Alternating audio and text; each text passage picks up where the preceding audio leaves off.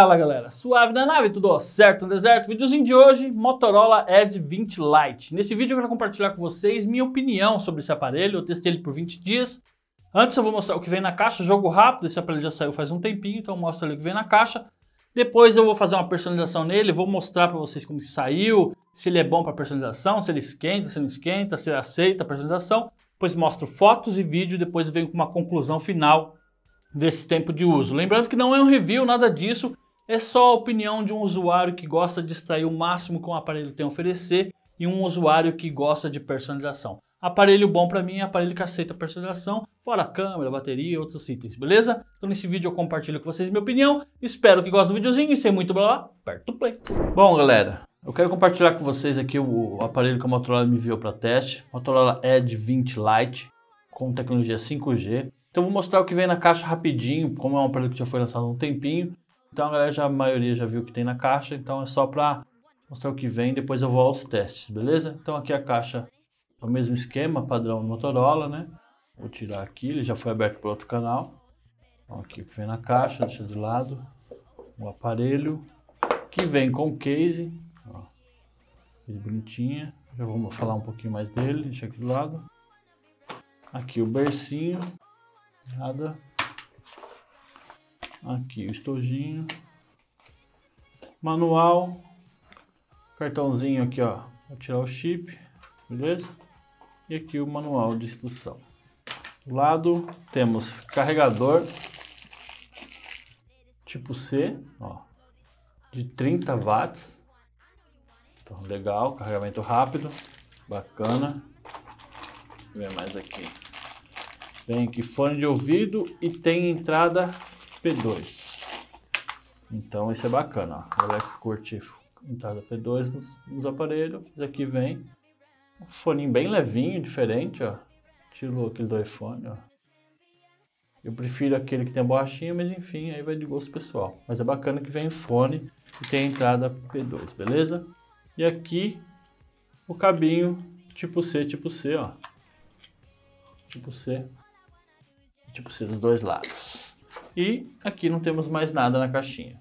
Vou colocar aqui do lado, agora eu vou falar um pouquinho do aparelho. Deixa eu tirar essa etiquetinha aqui. Tá Deixa eu tirar aqui primeiro, ó. Aqui é aquela de TPU, ó. Meio uh, um pouquinho escura, da hora. Fumezinha que fala, né? Então, bacana. Deixa eu tirar essa etiquetinha aqui, ó.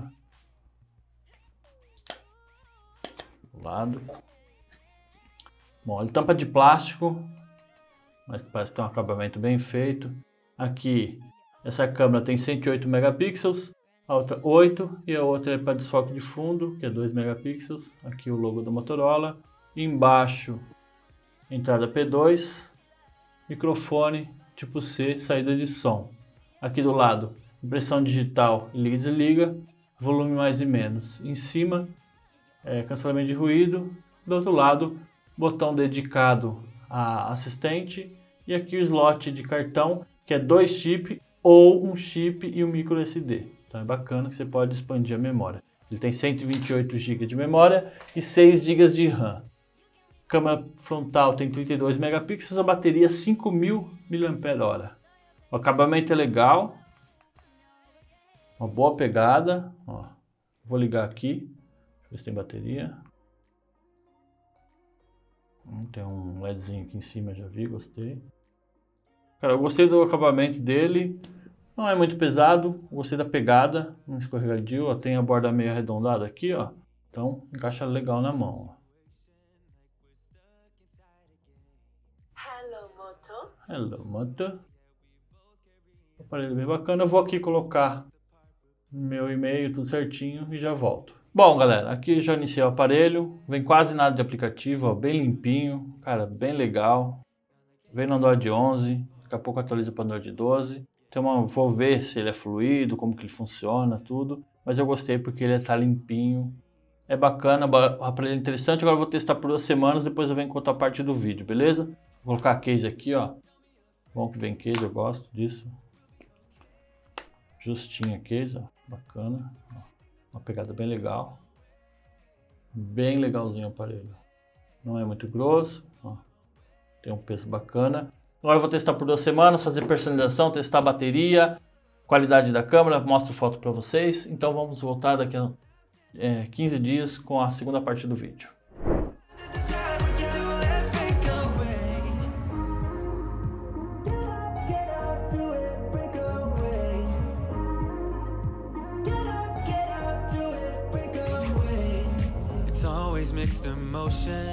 Bom, galera, começando essa segunda parte, eu vou falar um pouquinho agora de personalização, de usabilidade do aparelho, beleza? É, coloquei várias personalizações, Live Wallpaper, KWP, KWGT. O aparelho roda muito bem, ele atende muito bem essas personalizações, é rápido ao toque, sabe? É, não mastiga, então, ó, bem legal. Cara, gostei bastante. Ó, show de bola.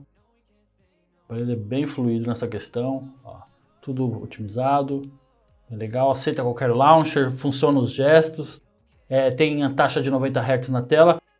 Poderia ser 120, mas 90 já é bem legal. Android, ó, aqui é o Edge 20, saiu a atualização para Android 12. Então depois eu vou falar um pouquinho sobre isso também, da minha opinião sobre o aparelho, beleza? Mas em questão de personalização, usabilidade, um aparelho bacana, tem uma boa construção. Gostei dessa parte aqui, sabe? É, responde bem ao toque, uma tela bonita e se você quiser um aparelho para personalização, essas coisas, usar aplicativos em si, ele vai responder muito bem e aceita qualquer tipo de aplicativo. Isso também é muito bacana, beleza? Então nessa parte aqui de usabilidade, achei bacana, passou no meu teste. Agora eu vou mostrar um pouquinho das fotos, vídeo e depois eu venho com uma conclusão de 20 dias de uso, beleza? Lembrando que a minha opinião de um usuário que gosta de personalização, apenas isso. Então vamos às fotos. Small. Watch the clock ticking off the wall. But tonight I'm letting it go. Spend my coin for sure. I'm gonna be myself, or I could be someone else. No one's stopping me now. I'm gonna skip my breaks, I'm gonna make mistakes. I just wanna feel alive. It's just what So try not to hold me down Feel alive when I'm in this town Look at those beautiful stars I wanna drive a faster car Nothing can break me, no, no, nothing can break me Try not to hold me down Feel alive Bom, galera, viu aí a qualidade das fotos, é bem bacana, usável, gostei de algumas coisas, não gostei de outras. Vou falar um pouquinho agora da minha opinião de usuário, de uso, experiência de uso desse aparelho. vou destacar primeiro as coisas que eu curti mais nesse aparelho, beleza? Primeira coisa que se destaca nesse aparelho é a qualidade da tela. A qualidade da tela dele é bem legal, OLED, tem uma tela grande, a luminosidade é boa, então se destaca bastante. Outra coisa muito legal é a construção dele. Mesmo que ele seja de plástico, a pegada dele é boa, a construção, tudo lacradinho, seladinho. Isso se destaca bastante porque às vezes você pega uns aparelhos aí que você sente que ele é mal encaixado, sabe? Parece que foi feito às pressas. Enfim, então esse é um ponto que tem que se destacar também, que você pega o aparelho e você vê que ele foi bem construído. Outra coisa legal é a câmera traseira, não que seja maravilhosa, mas ela é usável de boas, dá para você tirar boas fotos, com uma boa luminosidade ali, você tira fotos bacanas, certo? Outra coisa que se destaca muito nele é a otimização de bateria. Boa otimização, então você pode sair tranquilo com o aparelho e ter uma boa otimização. Ele é fluido, ou esse processador é bacana, aceita qualquer personalização e é o ponto crucial do canal, canal de personalização. Então, o que eu curto no aparelho é que ele deixe, é, me permita né, usar qualquer launcher, qualquer aplicativo que eu queira. E a Motorola tem isso de bom. Se, eu não curto launchers de, de fabricante, nenhuma fabricante. Então eu gosto de instalar minha launcher, depois em jogo instalo outro, enfim. E esse aparelho te permite, você usa gestos, usa KWP, KWGT, Live Wallpaper, tudo tranquilo, usou de boas, todos os aplicativos que eu testei, aceitou tudo, rodou tudo no fino, então tá muito legal essa parte. Então são pontos que se destacam na minha opinião. Agora eu vou falar um pouquinho do que eu não curti muito nesse aparelho, beleza? Bom, galera, eu vou falar um pouquinho do que eu não curti nesse aparelho. Eu não curti a qualidade da câmera frontal. Não que seja ruim, mas deixou um pouco a desejar. Talvez com a Gcam você consegue tirar um proveito melhor da câmera, mas assim no original eu não curti muito não, tá? Deixou um pouquinho a desejar. E também a qualidade do som. É um som alto, beleza, mas se você aumentar muito distorce. É mono, então poderia ser um estéreo, eu curto o som estéreo. Então acho que esses dois pontos deixou a desejar na minha opinião. Agora eu preciso falar um esquema aqui. Eu pesquisei o valor desse aparelho, ele sai entre 1.800 a 1.950. Você pesquisa em site, você vai encontrar essa diferença aí. E o 20, eu fiz um vídeo dele no canal, se não viu, dá um bisu lá no vídeo. Eu acho ele muito mais aparelho do que esse, na minha opinião, por diferença de 100 a 150 também. Eu pesquisei os dois ali. Então, de repente, 150 a mais, é, vale a pena. O aparelho é muito mais estiloso, fininho, tem uma duração de bateria super boa também. A qualidade da câmera é um pouquinho melhor. Então, sabe, juntando os dois, aquele se destaca um pouquinho e eu acho que a diferença de 150, assim, não seja muito e vale mais a pena. Lembrando, essa é a minha opinião, beleza? Mas se você tem esse aparelho, dá para você fazer muita personalização legal, tirar boas fotos, usa GK na câmera frontal, que você também tira um proveito melhor e a duração de bateria é show de bola. Espero que tenham gostado do videozinho. Qualquer dúvida, pode me perguntar nos comentários. Até o próximo vídeo, aperta o play. Fui, se cuidem.